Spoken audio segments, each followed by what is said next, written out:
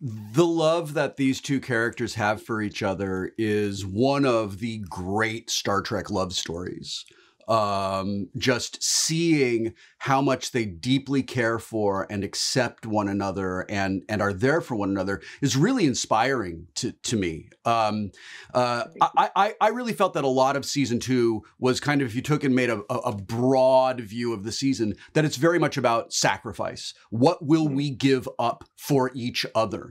And mm-hmm. here at the beginning of season three, I feel like we are experiencing a little bit from the crew the consequences of of that sacrifice and that that need to make a connection with each other. So the characters all feel like okay the sacrifice was worth it. Like we are this is scary. We're a thousand years in the future. And and we we we don't like we don't know where we barely know when we are. Um yeah. And the crew as a whole is not doing very well emotionally as a result of that. So, in this episode that we just watched, we got to see some really intense conflict on Star Trek, which surprisingly is not very common on Star Trek. My Star Trek, we had a rule. There's no conflict among the bridge crew. We're all on the same page.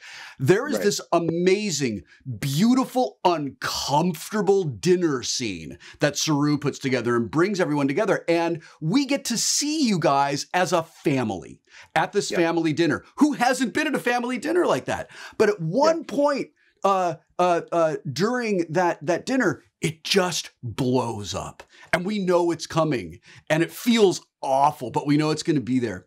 Would you both talk a little bit about the emotional state of the crew?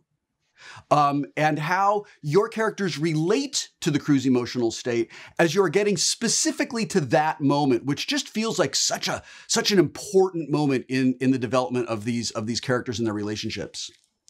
Well, I think it's one of the things that our writers have done such a beautiful job is uh, giving us inner inner lives and things to sort of you know really dig into. And yeah, we're all on duty. We all have our jobs that we do, but yeah, not neglecting the fact that we're all people and people going through something as profound as letting everything you know behind is going to have effects. You can still be really good at your job. You can still be professional, but inevitably there's going to be jagged edges that come out. So it felt very satisfying to us that we were given that opportunity to explore that. And then the manner in which it is explored feels very authentic and and and and real.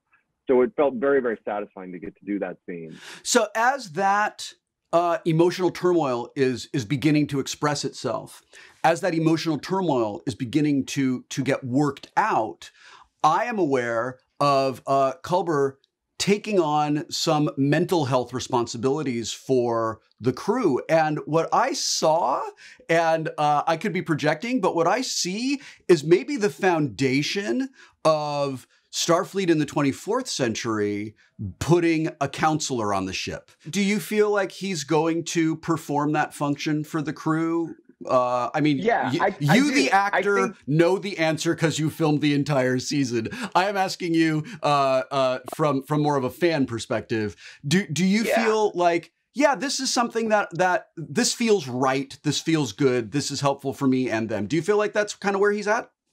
Yeah, I think it feels earned, and I think it feels necessary.